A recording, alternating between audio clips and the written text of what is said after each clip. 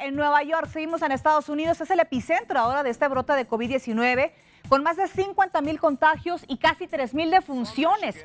Crítica la situación allá en Estados Unidos, principalmente en Nueva York, por lo que el gobernador de aquel lugar, allá en el estado, Andrew Cuomo, puso en marcha 45 morgues móviles, esto debido al colapso de las funerarias. Se trata de camiones enormes que están refrigerados y que tienen cuerpos cuerpos de personas que han perdido la vida por COVID-19.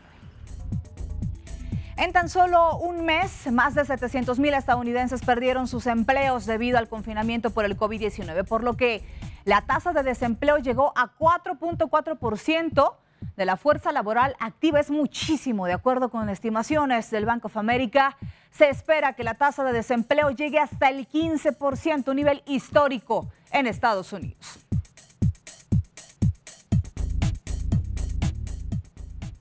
Justamente para entender qué significan estos números y la ayuda de desempleo de Estados Unidos que ya fue autorizada por Donald Trump.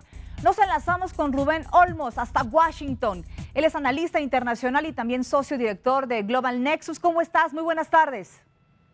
Brenda, muy buenas tardes. Muchas gracias por tenerme aquí en tu espacio. Gracias por platicar con nosotros. Espero que te encuentres muy bien. Oye, cuéntanos, por favor, qué significa el problema de desempleo que hay históricamente en Estados Unidos a raíz de esta pandemia. Con muchísimo gusto, Brenda. Pues mira, eh, evidentemente, como ya tú lo señalabas, este, Estados Unidos está teniendo un incremento muy considerable de casos del COVID-19. Inclusive ya Estados Unidos rebasó los casos que se han presentado tanto en China como en Italia como España. El gobierno de Estados Unidos, por presión del sector empresarial, por la presión de lo que va a venir en los próximos meses, decidió hace un par de semanas negociar eh, de manera, eh, yo te diría, eh, eh, a política, es decir, tanto los demócratas como los republicanos se pusieron de acuerdo con la Casa Blanca y se aprobó lo que fue eh, el paquete económico más grande en la historia de este país, un paquete que incluye más de 250 billones de dólares que va a cubrir diferentes frentes eh, económicos, no nada más para rescatar a las empresas que ya se estaban empezando a anunciar como empresas que pudieran irse a la quiebra, pero también para apoyar a los más necesitados. En este sentido, y los números que tú reflejas son claros, eh, hay desempleo histórico en este país. Se prevé que en las próximas semanas más de 10 millones de estadounidenses se reporten como desempleados. Este paquete incluye cheques para los eh, de menor recursos y la idea es que empiecen a salir los cheques directamente a casas eh, a partir de la próxima semana. También hay un paquete muy importante para apoyar a la pequeña y mediana empresa, para poder reactivar estos empleos, estas empresas que han dejado de operar por, por efecto de la crisis. Rubén, ¿durante cuánto tiempo va a ser este apoyo, este sostén que está dando el gobierno de Estados Unidos? Hay que recordar que en Estados Unidos en estos momentos es la época muy crítica, no se sabe realmente cuándo se va a restablecer la economía en aquel país.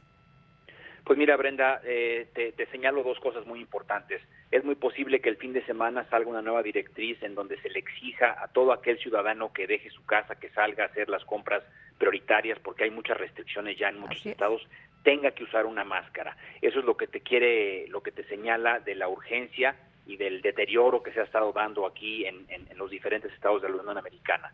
Paralelamente, hace un momento, el líder de la mayoría eh, republicana en el Senado señaló que muy posiblemente se está cocinando un nuevo paquete económico de apoyo, es decir, el paquete que se aprobó este histórico al cual me refería anteriormente es solamente digamos que una pequeña aspirina para poder reactivar la economía. Vendría un segundo paquete multimillonario para volver nuevamente a inyectar mayor capital a la economía estadounidense. Se prevé que eh, poco a poco empiece esto a reactivarse, pero eh, todo indica que las, los comercios, las empresas vuelvan a tener operaciones, Brenda, hacia finales de este mes y poco a poco empecemos a ver algún tipo de movimiento de la economía. Pero esto, sin lugar a dudas, es una crisis que se, que se antoja dure más de 60, 90 días. Eso en cuanto a ciudadanos estadounidenses, pero si hablamos de migrantes, ¿cómo se encuentra la situación?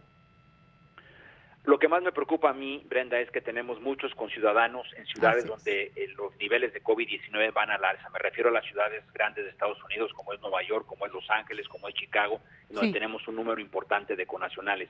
Todos estos eh, paisanos nuestros han perdido sus empleos porque estos restaurantes donde ellos trabajan, estas cocinas, estos hoteles donde trabajan están cerrados. Entonces, sin lugar a dudas, veremos un decrecimiento importante del envío de remesa a México eh, en el próximo trimestre.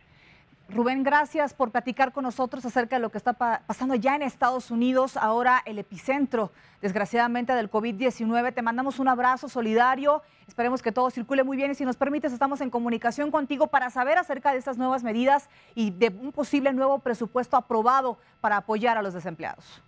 Con muchísimo gusto, Brenda. Que tengas buenas tardes y buen fin de semana igual para ti. Abrazo, Rubén Olmos, que se encuentra allá en Washington y nos da justamente cuenta de lo que está sucediendo con el desempleo. 4.4% de la población económicamente activa se encuentra en la calle.